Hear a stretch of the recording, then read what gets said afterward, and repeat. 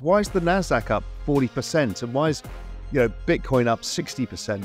It's because they're already pricing it. Crypto summer comes sometime next year, or that's when things start to get crazy again. After months of stagnation in the crypto markets, there seems to be a light at the end of the tunnel. 2024 is likely to be the next big year for crypto, and not only because of the Bitcoin halving.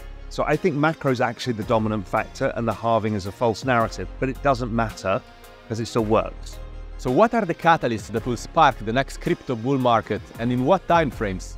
But most importantly, how should you prepare for what is coming in 2024?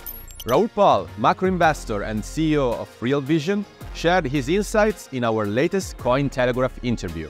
Before we get into the conversation, as always, don't forget to like the video and subscribe to our channel. I'm Giovanni, let's get started.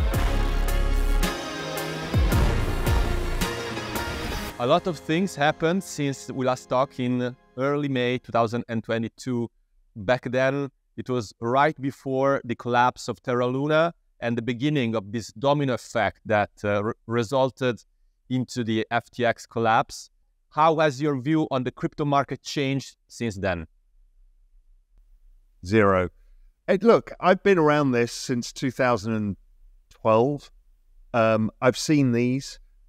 Um, and it's usually the same mistake happens most times over is people build businesses based on leverage on an 80% volatility asset. And then when the asset starts going down everybody blows up. Yes it's quiet right now in crypto but the ongoing adoption let's say um, the number of active addresses keeps rising over time. Even last year in a down 75% market the number of active addresses rose 42% um, which is remarkable. So for me, everything's on track. So I'm curious to know your your view on the current macro picture and how it is impacting crypto at the moment.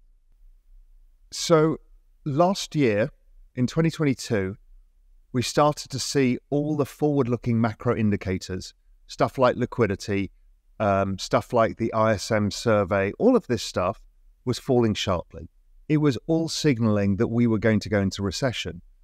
All assets fell in 2022. I mean, everything crypto, equities, bonds, the lot, because it was pricing in a recession because of the inflation, the interest rate rises, all of those things.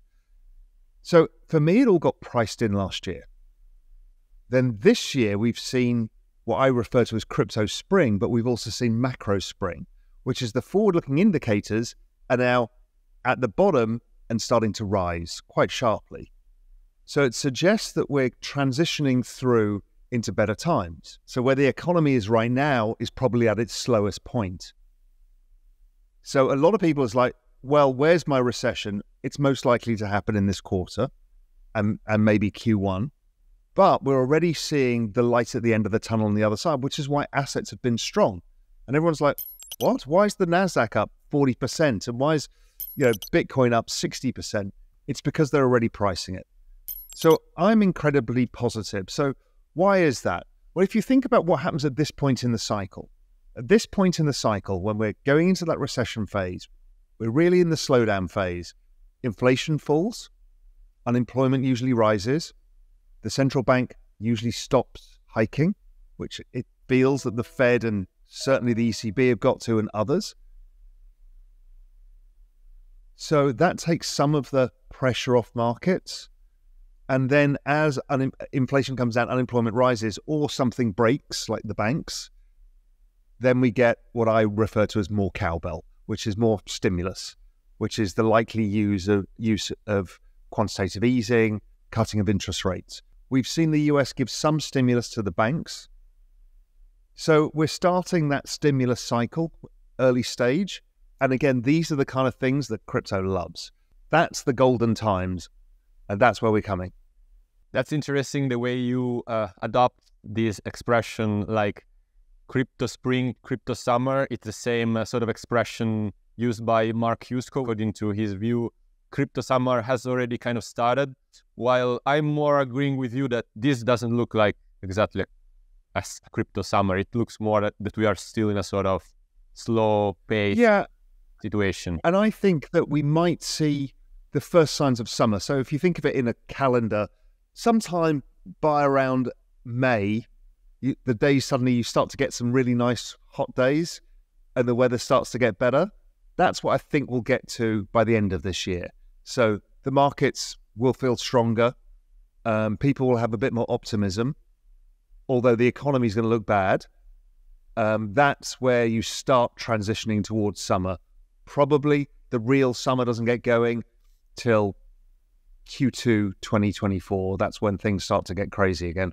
I just want to ask you about a major catalyst that uh, everybody is waiting for for next year, uh, which is the Bitcoin halving. Everybody has its eyes on this event as one of the main catalysts that will likely spark the next uh, big bull run. And we saw that happening in 2020 and uh, four years, every every four years before then. Um, so historically, that has always been a big catalyst. But on the other hand, we have just a very few of those events to kind of base a scientific theory on. So, uh, what's your thought on this? How do you think the halving will play out this time? So, I think the halving is coincidental to the macro cycle. It just so happens that in 2008 9, magic things happened. One, all debts, all interest payments on all debts were forgiven. We went to zero interest rates everywhere. That reset the global economy. It's exactly the same time as Bitcoin came out. So they're all birthed. Zero interest rates and Bitcoin are birthed at the same time. And the macro cycle is this debt refi cycle every three and a half years to four years that happens that exactly corresponds to the crypto cycle. I think it's coincidental. So I think macro is actually the dominant factor and the halving is a false narrative, but it doesn't matter because it still works, right? It's the same cycle. So you can measure it any way you want.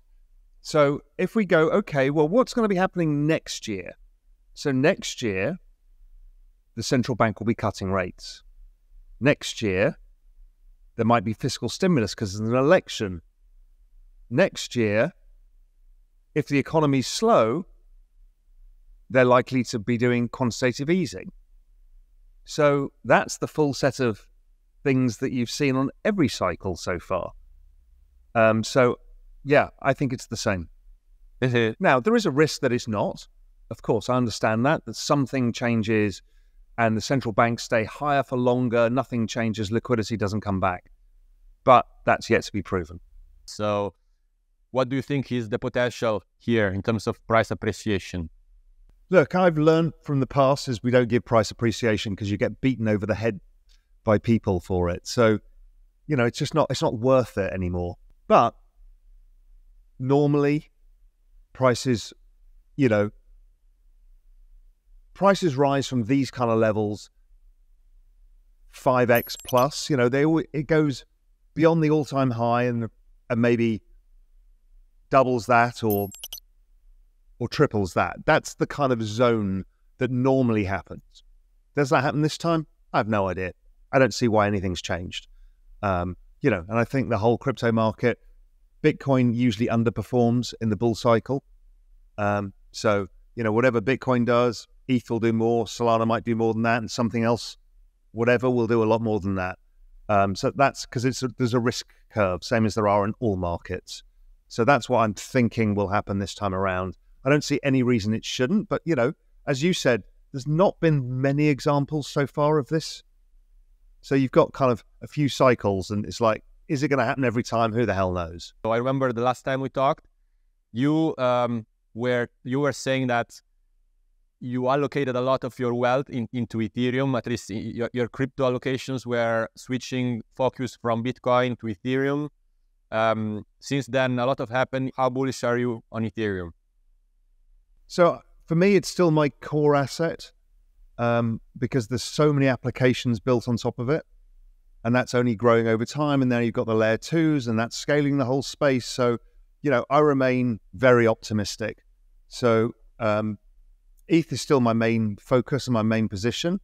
And then I have some Bitcoin, obviously. And the other bigger position I've got is Solana, which is kind of underowned. It got killed in, in the down cycle, down 97%, same as ETH did back in 2018 it then we saw economic activity picking up on chain. If Solana continues to pick up economic activity in the way that it's doing, it will outperform ETH. Simple as that. And looking at previous cycles, those kind of things tend to do, you know, that 10, 20, 30x. You know, ETH did 47x from the low from 20 uh, from uh, tw- 2018. Uh, Solana bottomed at I can't remember what it was, nine, something like that. So could it do 47x? Maybe, maybe not from the from the low price. We'll have to wait and see. Now I have just a final question for you, Rose, for all retail investors that are watching us now, that are waiting for 2024 uh, as like a big year for crypto, that uh, are looking for are, that are looking forward to uh, for the market to recover. What would be a piece of advice for all of them from you? In crypto spring, the best thing to do is be prepared. What am I going to do in this cycle? How am I going to FOMO in? How am I going to position myself? What am I going to do? So I like to take notes to think about to pre-prepare for things. You know, where could I be wrong? What could go on? What risks will I take? How will I stop myself doing the stupid things? Because people do stupid things. They lose their minds in a bull market if it comes. Um, so I think there's that. The other thing is to educate yourself, learn how to invest, understand the risks, the opportunities, and learn from the experts. Now, that's what we do at Real Vision. What we're actually doing with Ledger is something quite special We've got a festival of learning. So it's an online festival of learning. It's free to join. And there we're going to help educate you with the smartest, most famous people in the space. Everybody's going to be there. Um, and it should be a lot of fun. People get a lot out of it. So it's called the next digital asset wave and how to prepare for it, which is exactly what we're talking about. And people who come and join us on that, again, it's free. You can complete a ledger quest, which is this gamified ledger education experience around NFTs, Web3, crypto. Uh, you can mint a proof of knowledge NFT to show that you've educated yourself. And again, I think it's great to hold yourself accountable for stuff like that. Um, and then there's a chance to win a thousand. I think there's sorry, there's yeah, there's a hundred co-branded ledger devices. It's a Real Vision Ledger mashup. So anybody who's interested, it's a it's an amazing event. A lot of good people going to be there you'll get educated, you'll learn how to prepare for, for ahead, think about the risks. As I said, people lose their minds in bull markets.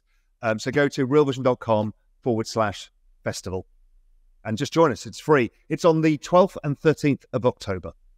Looking forward to it. And um, yeah, it's always a pleasure to have you on, Raoul. And let's see, perhaps let's talk again uh, in a few months and see how the macro picture will have changed by then. I look forward to it.